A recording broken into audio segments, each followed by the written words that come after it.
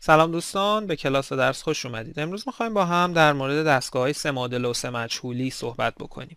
توی حالت کلی دستگاه سه مادل و سه مجهولی رو میشه به این شکل نوشت. به صورت A11 در x1 به علاوه A12 در x2 به علاوه A13 در x3 مساوی با B1 که این میشه اولین معادله دستگاهمون که X1 و X2 و X3 توش سه مجهولمون هستن و A11 A12 A13 و B1 به ترتیب ضرایب و ثابت سمت راست معادله اول هستن. به همین ترتیب دوتا معادله دیگه دستگاه به این صورت خواهم بود. A21 در x1 به علاوه A22 در x2 به علاوه A23 در x3 مساوی با P2 خواهد بود و سومین معادله هم خواهد بود. A31 در x1 به علاوه A32 در x2 به علاوه A33 در x3 مساوی با B3 پس این میشه یک دستگاه سه معادله و سه مجهولی که همونطور که گفتم AIJ ها ضرایب معادلاتمون هستند ضرایب هستند و XI ها یعنی X1, X2 و X3 چی هستند؟ مجهولات ما هستند مجهولات خب حالا اگر این دستگاه معادلات رو یک کمی نگاش بکنید می‌بینید که سمت چپ معادلاتمون خیلی شبیه به اون چیزی هستش که توی ضرب ماتریس ها داشتیم. یعنی در حقیقت این سه تا معادله رو می‌تونیم ما به این فرم ماتریسی بنویسیمش. یه ماتریس 3 در 3 اول می‌نویسیم که درایهاش هستن A11 A12 و A13 و سطر دومش A21 A22 و A23 و سطر سومش هم هست A31 A32 و A33 و اون وقت این ماتریس 3 در 3 رو اگر ضرب بکنیم توی ماتریس ستونی که هستش x1 x2 و x3 اون وقت ماتریس حاصل می‌تونید ببینید که هر سطرش برابر با یکی از این معادلاتی که اینجا نوشتیم خواهد بود. پس هر کدوم از سطرها باید به ترتیب برابر با B1 B2 و B3 باشه. درسته؟ به عنوان مثال برای اینکه این براتون واضح در بشه بیاید با یه رنگ دیگه مثلا این دوتا ماتریس رو که تو هم ضرب میشن سطر اولش رو بنویسیم. این ماتریس رو اگر توی ماتریس x1 x2 x3 ضرب بکنیم سطر اول میشه چی؟ میشه a11 x1 به علاوه a12 x2 به علاوه a13 در x درسته داریم این ماتریس 3 در 3 رو توی ماتریس 3 در 1 مون ضرب می‌کنیم. به همین ترتیب سطح دومش هم میشه دومی معادلمون و سطح سومش هم میشه سومی معادلمون که این باید برابر باشه با چی؟ طبق دستگاه معادلاتمون باید برابر با b1 B2 و B3 بشه درسته؟ هر سطح باید برابر با یکی از این ثابت ها بشه. پس ما می‌تونیم هر دستگاه معادلات 3 در 3 رو که داشتیم به این فرم ماتریسی بنویسیم. حالا برای این فرم ماتریسی مون هم می‌تونیم یه خورده خلاصه ترش بکنیم. اسم این ماتریس 3 در 3 رو بیایم بذاریم A که معمولا بهش میگیم ماتریس ضرایب چرا بهش میگیم ماتریس ضرایب چون گفتیم این a i و j ها ضرایب معادلات ما هستن.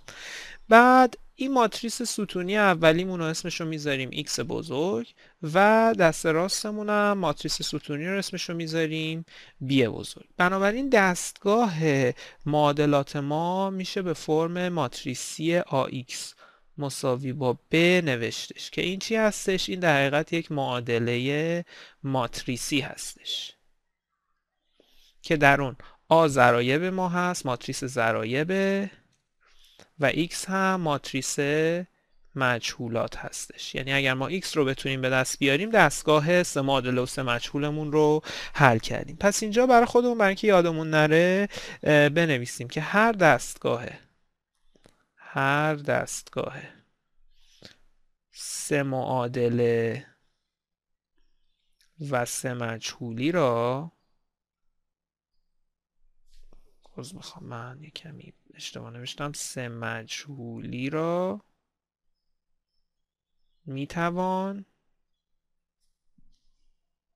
با یک معادله ماتریسی نشون داد. درسته؟ با یک معادله ماتریسی نشان داد.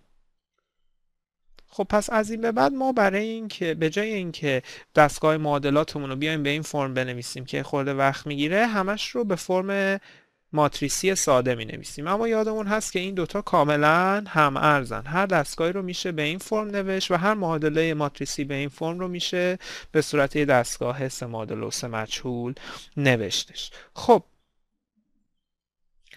ما حالا باید با همدیگه ببینیم که دستگاه معادلاتمون رو یا معادله ماتریسی که هم ارز با دستگاه معادلاتمون هست رو چطور می‌تونیم حل بکنیم؟ اینجا یک قضیه ما با هم داریم که این قضیه بنویسیم قضیه یک برای دستگاه های معادلات خطی.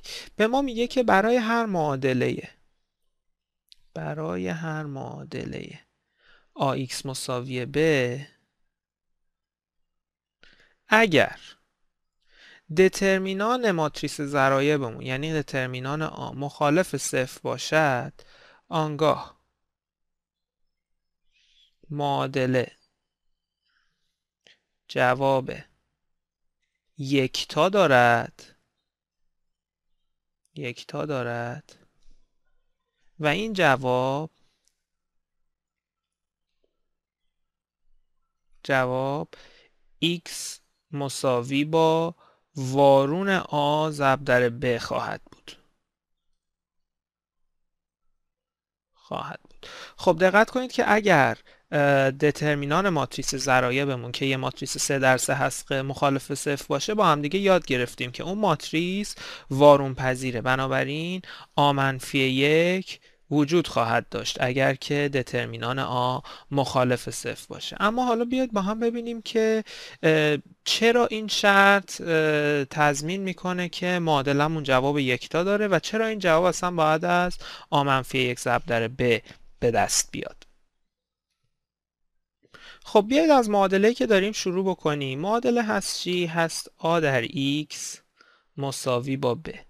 خب چون اگر دترمینان آ مخالف صفر باشه همونطور که گفتیم ماتریسمون وارون پذیره پس دو طرف معادلمون رو می‌تونیم توی وارون آ ضرب بکنیم. پس با ضرب کردن از چپ در وارون آ خواهیم داشت. آ منفی یک در آ x مساوی خواهد بود با آ منفی یک در خب سمت چپ این تصاویمون سه تا ماتریس دارن تو هم ضرب میشن و همونطور که می‌دونیم ترتیب توی ضرب ماتریس ها مهم نیست. پس ما می‌تونیم اول آ منفی یک رو توی آ ضرب بکنیم و بعد حاصلش رو توی x ضرب بکنیم و اون برابر خواهد بود با آ منفی یک در b یا وارون آ در b.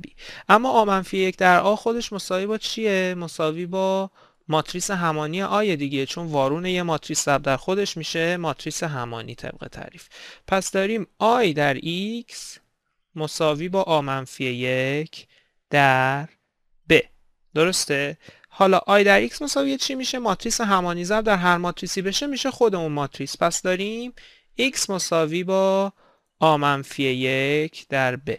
پس x مساوی آ منفی یک در ب یک جواب معادلمون هستش درسته؟ یک جواب معادله. هست. وارون ماتریس ضرایب ضرب در ماتریس B اما چرا این جواب یکتاه؟ سوالی که از خودمون باید بپرسیم چرا یکتا هستش جوابمون؟ خب بیاید از برهان خلف استفاده بکنیم. برای اینکه یکتایی رو اثبات کنیم. برهان خلف. یعنی فرض بکنیم که دو تا جواب داریم مثلا. دو جواب داریم که اسمشون رو می‌ذاریم x1 و x2 و با هم متمایز هستن x از هم متمایز هستن x1 و x2 یعنی داریم چی؟ داریم a در x1 مساوی با b هستش و a در x2 هم مساوی با b هستش. این دوتا جواب معادلمونه مثلا. بیشتر از دوتا هم می‌تونیم فرض بکنیم ولی فعلا با دوتا بیاید کار بکنیم. خب چون AX1 و AX2 هر دو مساوی B هستن پس چی داریم؟ داریم AX1 مساوی با AX2 درسته؟ حالا دوباره مثل حالت بالا می‌تونیم دوور این تصاوی رو توی وارون آ ضرب بکنیم یعنی آ منفی یک در آ در x1 مساوی با آ منفی یک در آ در x2 خواهد بود درسته آ منفی یک در آ هم که گفتیم مساوی با ماتریس همانی آیه درسته؟ پس سمت چپ داریم آی در x1 مساوی هستش. با سمت راست هم داریم چی؟ آی در ماتریس x2 خب i در x1 که مساوی خود x1 میشه. i در x2 هم که مساوی خود x2 میشه. پس x1 با x2 مساوی هستش که این یک تناقضه. چون ما فرض کرده بودیم که دوتا جوابمون از هم متمایزن ولی دیدیم که یکی خواهند شد. پس جوابمون یکتا خواهد بود اگر ماتریس A دترمینانش مخالف صفر باشه. و اون جواب یکتا هم از ضرب وارون ماتریس A در ماتریس ب به دست میاد. خب این قضیه رو تا اینجا داشته باشید توی کلاس درس بعدی. مثال می‌بینیم از این قضیه و یاد می‌گیریم که چطور باید استفادهش بکنیم. تو کلاس درس بعد میبینمتون.